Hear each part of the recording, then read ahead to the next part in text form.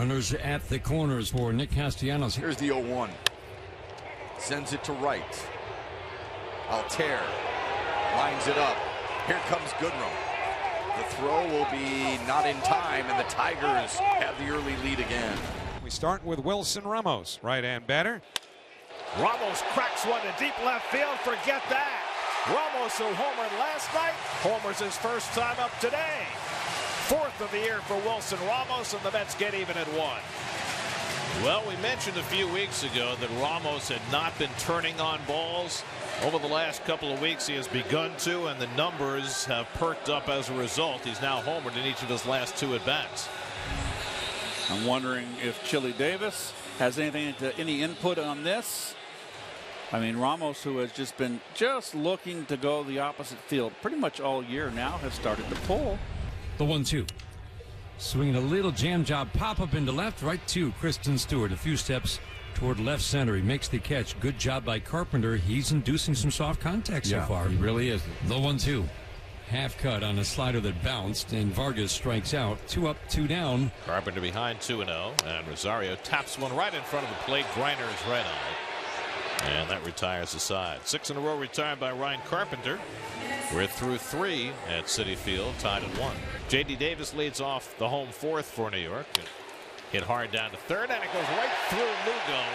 And Davis is safe at first. So Dawel Lugo unable to handle that hot shot. It'll be scored in error. The Mets have a lead-off base runner. There's Pete Alonso flying out his first time up. And a balk is called. A balk called against Carpenter. And that'll move Davis down to second base. You can see he stops and then he stops again. Why did they call a balk? Did the exact same thing and they called a balk again. There you go. How about that? That's going to get Ron Gardenhire. And Carpenter's saying, hey, that's my move. That's what I do. And now Ron Gardenhire is going to come out and argue. So they called it once on that double stop. Well, it's clear what he does. The question is, what do the umpires allow? Now he stops and then he moves his hands again. And now Gardenhire out to plead his case. So one out. Davis still at third. The infield will stay just about halfway at second and short against Ramos, who homered on the first pitch he saw. And he grounds one through the whole base hit, and the Mets have the lead. Davis comes in to score.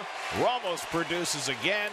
He's driven in both runs today for the Mets, who now lead it 2 to 1. And they've got the tying run aboard with their best hitters coming up. Nicholas Castellanos drove in the Detroit run with a sacrifice fly. Then Vargas deals, swinging a hard hit grounder, diving stop by Frazier behind third, fires to second for a force play. A Todd Frazier just saved an extra base hit, maybe even a run, with a great diving stop along the line behind the bag against Castellanos for the second out. Well, that was just a beautiful play by Todd Frazier, an all-out diving effort on a ball that was smoked by Castellanos. Then he got up and made one of the best throws I've ever seen Frazier make. Brandon Dixon has grabbed a bat, and he will pinch hit for the pitcher here in the sixth inning. And the 1 1 swinging a fly ball left field. Way back in left and gone a home run. Brandon Dixon with a pinch hit two run home run. He put it into the upper deck in left field. And the Tigers take the lead on a two out, two run home run 3 2 here in the sixth. So two out. Wilson Ramos, who's been the sum total of the Mets offense today, comes to bat. First pitch to him. Swinging a drive in the air to right. That's well hit. Castellanos back, and there she goes. Home run for the red hot Wilson Ramos. The second home run of the game for Ramos. He's got five on the year now, and the Mets have come right back and taken a 4 to 3 lead.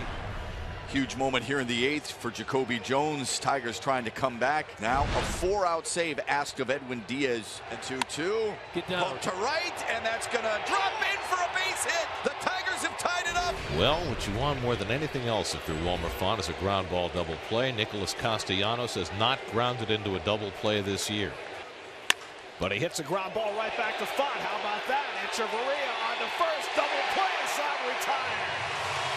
One, four, three double play. And he does square, lays off, throw to first by Ramos, and he picked him off. Wilson Ramos having himself a day. Three hits, a couple of home runs, and now he picks Beckham off first base. So now it's left to Adeiny Hechavarria with the bases loaded and two out. Here's the 3 2. Ground ball up the middle. Stumpf's got him. Sit him down. Let's play into the 12th. It's 4 4, 12th inning, bases loaded, two outs. Runners will go on the 3 2 to John Hicks. Swing and a high fly, right center, playable for Lagares. Angling to his left, Lagares is there, he's got it, the inning is over. Tomas Nido up for the second time will lead off. Nido flies one out to right center field. Back goes Jones onto the warning track at the wall. It's out of here! Tomas Nido wins it! Tomas Nido ends it with an opposite field home run. His third career home run. This one ends the game in the bottom of the 13th, and the Mets win it 5 to 4.